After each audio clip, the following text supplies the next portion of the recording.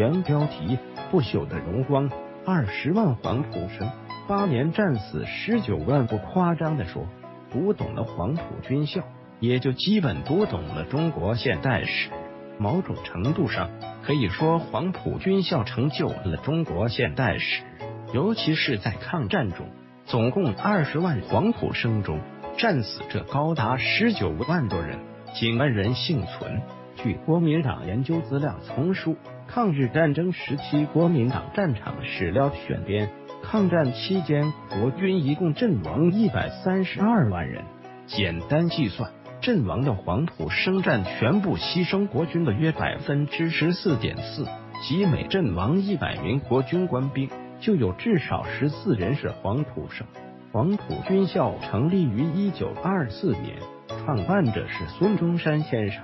在军校大门前码头边竖立有一座木质大牌坊，两边的对联是“升官发财，请往他处；贪生畏死，误入私门。横批是革命者们。校本部是由两个四合院组成的岭南风格祠堂式楼房建筑，从空中俯瞰成日字形，是军校旧址的核心部分。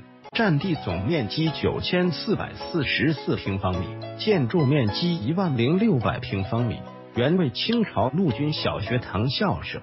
黄埔军校第一期学生入校时有四百多人，由于经费短缺，校舍和宿舍等都是临时搭建的奎棚。当时的教学机构包括总理、校长、党代表以及政治、教授、教练、管理、军需。军医等部共四十个部门，蒋介石担任校长，廖仲恺为国民党党代表，李济深、邓演达为教练部正副主任，王柏龄、叶剑英为教授部正副主任，戴季陶、周恩来先后担任过政治部主任，何应钦为总教官。黄埔军校开学典礼上，孙中山说要用这个学校的学生做根本。成立革命军，诸位学生就是将来革命军的骨干。黄埔学生立一个志愿，不先烈的后尘，像他们一样舍身成仁，牺牲一切权利，专心去做救国救民的事业。像这个样子，才能够变成一个不怕死的革命军人。由此，黄埔军校成为中国历史上第一所革命的军事学校。从这所。学校一共走出有三千零五十三名将帅，包括国军最高统帅蒋介石。抗战期间，黄埔军校在各地设立分校，培养军校学生，为抗战前线源源不断的输送新鲜血液，补充前线兵力。黄埔军校毕业生也包括在黄埔军校培训过、上过学或者上过一段时间又退学的等等。合计二十多万人里，他们为国家统一、民族独立、为保卫国家主权和领土完整做出了重大贡献。据抗战后的统计资料，黄埔生在战后幸存者仅一万一千多人，牺牲率高达百分之九十五，其中少将以上阵亡将领就达一百多人。龙贵全被誉为黄埔军校抗战牺牲第一人。一九三七年八月十二日夜，南口战役中，国军第八十九师师长王仲廉下令，由第五百二十九团团长罗方圭亲自率领第三营的第七、第九连，向南口镇阵地的日军坦克部队发起逆袭。第七连连长就是龙贵全，他和战士们全身挂满手榴弹，毫不犹豫地冲向日军坦克。在日军大炮和机关枪等疯狂轰炸扫射下，活着的国军不顾一切的接近日军坦克，把手榴弹往坦克窗口里丢，把手枪伸进去打，以血肉和钢铁相搏。日军的多数坦克见势不妙，慌忙撤退了，但仍有六辆坦克逃跑不及，被国军炸毁。在激战当中，龙贵全壮烈牺牲。他毕业于黄埔七期武汉分校，湖南人，时年二十五岁，是抗战八年间牺牲的黄埔第一人。与龙贵全同时冲向日军坦克的战友，第九连连长王有光是湖北人，毕业于黄埔七期，在南口战役中，他率部坚守阵地，身负重伤，在送往后方医院途中，遭受日军战机轰炸，壮烈殉职。龙贵全所属的国军第八十九师本在绥远驻守，全师官兵一万四千多人，主要作战武器是步枪、轻重机枪、手榴弹等近战武器。因为大战在即。全体官兵在整训期间精神振奋。在某次教阅当中，第五百二十九团一名排长因成绩落后，当即举枪自杀，可见气氛的严肃认真。在南口战役中，仅第八十九师就阵亡一千九百四十八名将士，众多的青年英雄的牺牲和付出，使得从八月七日至八月二十六日。日军始终未能攻克居庸关。多年后，师长王仲廉仍自豪的写道：“我军各部均有坚守阵地决心，虽死伤枕藉，血肉横飞，亦是不放弃。此为南口战役之特点。堪以告慰国人者，南口战役国军司令官是黄埔一期毕业的汤恩伯。”著名记者范长江在《大公报》上写道：“他因为日夜操劳的结果。”瘦得不成样子，两只眼睛深深的凹住，整个身体剩下了皮包骨头，已半月未曾得一燃眠机会，整天和电话、地图接近，时时注意敌人一尺一寸的移动。这场战役，国军已伤亡三万三千多人，打死打伤鬼子兵一万五千多人。身为最高统帅的蒋介石，在日记当中称：“居庸关我军固守未退。”坚守半月，足含敌胆，而与成创、汤恩伯真是罕世之名将也。其实，早在抗战爆发前，就有诸多黄埔生牺牲在前线。比如，一九三二年幺二八事变中，就有许多黄埔生殉职，如第八十七师营长朱耀章，在葛龙镇战斗中身中期弹，壮烈殉国。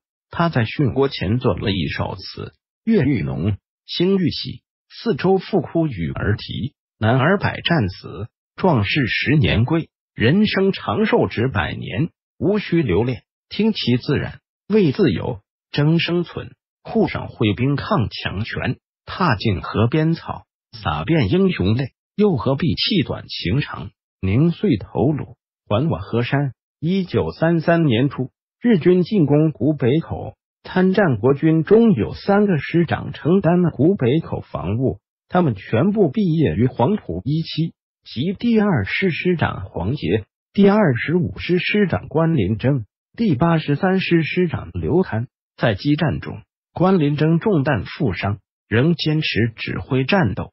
他的部下毕业于黄埔三期的第一百四十九团团长王润波阵亡。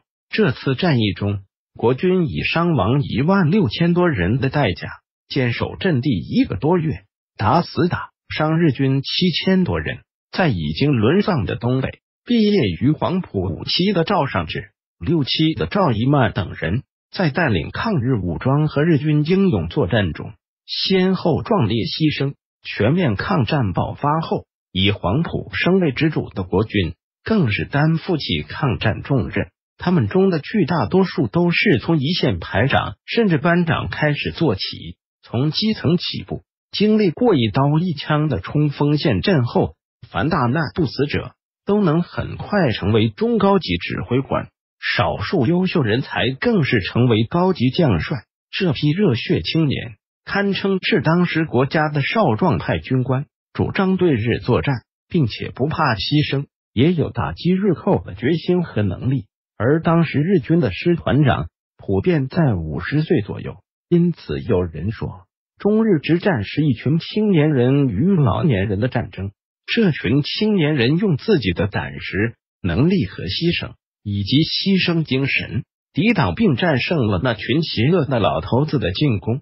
淞沪会战中参战的国军主力的重要将领，几乎都是黄埔系，包括集团军总司令张治中。杜聿明、张灵甫、顾祝同、陈诚、罗卓英、胡宗南、王敬久、孙元良、宋希濂、彭善、霍奎章、黄维、李树森、李延年、李玉堂、陈沛、夏楚中、周磊、李铁军、李文、陶世月、于继史、王耀武、桂永清、黄杰等高级将领如此，基层连排长也大都是黄埔军校第七至十一期毕业不久的学生。前线官兵相互勉励，誓死保卫祖国，其抗战意志之坚定，战斗士气之高昂，令人敬佩。胡宗南带领国军主力第三十四集团军坚守杨行，与鬼子兵展开血战。他和将士们白天隐蔽在竹林和村庄里，任敌机投弹扫射，一动不动。等到敌机离去，他和将士们则一跃而出。反击和打退着日军步兵的一次次冲锋，在死守阵地一周时间里，他除了下令进攻和反击，从不向上级抱怨和要求支援。接到撤退命令时，他才说伤亡惨重，我准备明天也要拔枪上火线顶替了。汪化林，黄埔军校毕业，第四十一团副团长。他在罗店血战十多天后，又主动请缨。亲率一个排前进到金家宅构筑新阵地，掩护全团抢修工事。出发前，他表示成功不敢预期，成人确有决心，不到日暮绝不生还。当天，在日军战机、舰炮等的狂轰滥炸下，他和全排壮士始终坚守阵地，打退了日军步兵的一次次冲锋。至黄昏，全部壮烈牺牲。宝山保卫战。同样是黄埔军校毕业的姚子清，率全营六百官兵死守阵地，全部壮烈殉国，举国称颂。这场会战后期，率军担任掩护任务的是国军第五百二十四团团长谢晋元，他毕业于黄埔一期。一九三七年十月二十六日，他率八百壮士死守上海四行仓库四昼夜，有效的牵制日军。掩护中国七十万主力部队撤退。此战中阵亡的团长以上黄埔系将领，还有第八十八师旅长黄梅兴、第六十七师旅长蔡炳炎、第九师师旅长关惠民、第五十八师旅长吴继光以及秦林、庞汉珍等，还有第十八军的团长李维藩、汪化林、陆景荣、李远新、韩英斌、蒋坚伟。第一军的杨杰、李有梅，第九师的窦长兴，税警总团的邱志记等。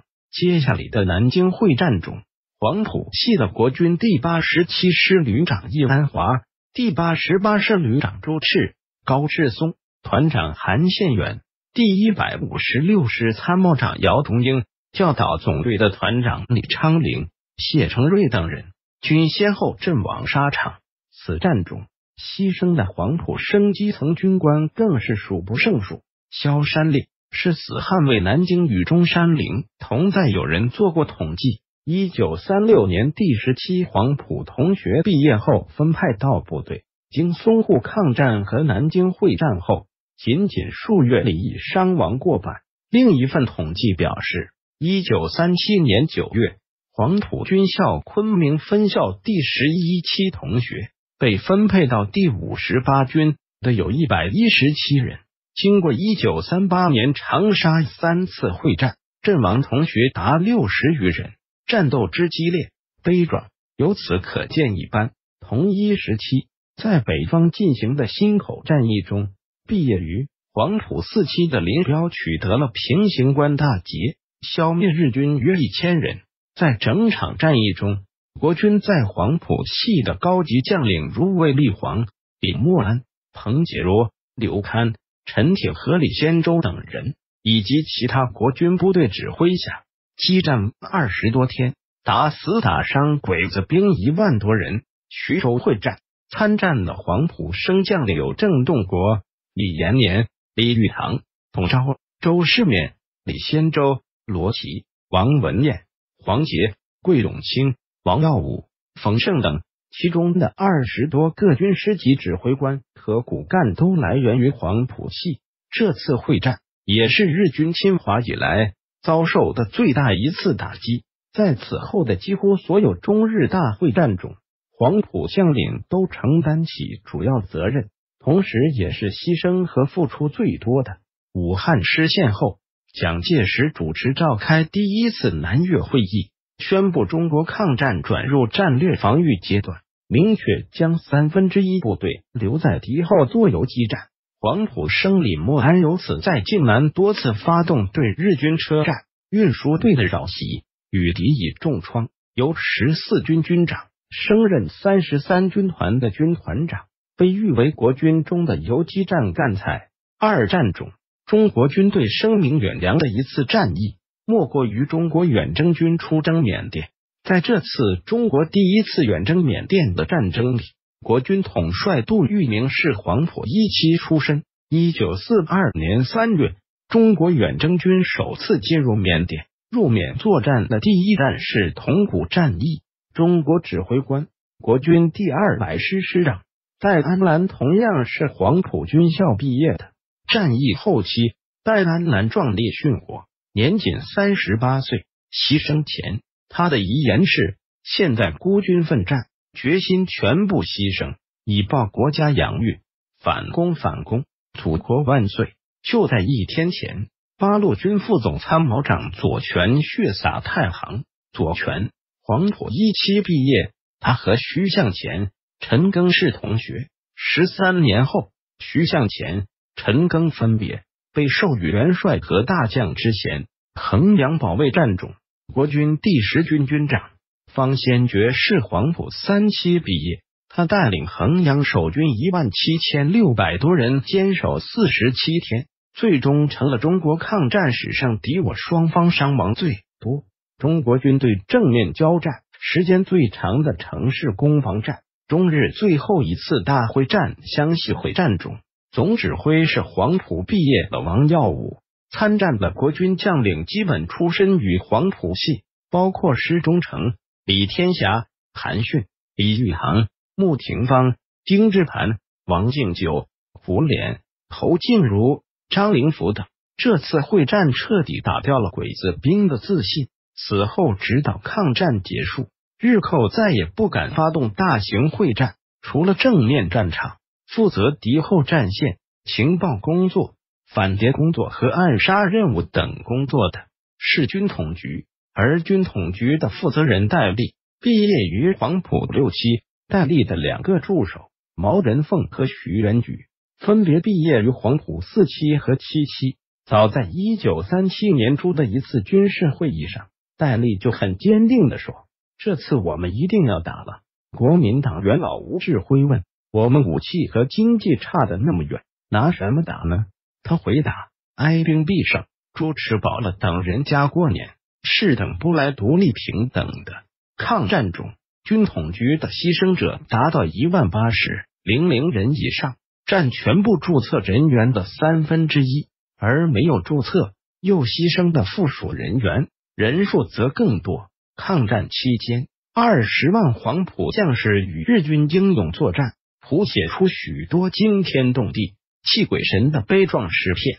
他们为国家独立与民族解放做出的卓越贡献将永载史册。他们以自己的热血和牺牲捍卫了国家主权和民族利益。他们永远值得人民怀念。毫无疑问，黄埔军校撑持着中国的抗战。一九六五年八月十五日，日军战败二十周年之际，日军退役中将吉田在东京发表文章说：“中日之战，日军之败是由于统帅部对中国二十余万受过黄埔教育之军官的英勇爱国力量未有足够的估价。”这番话。是有客观事实做根据的。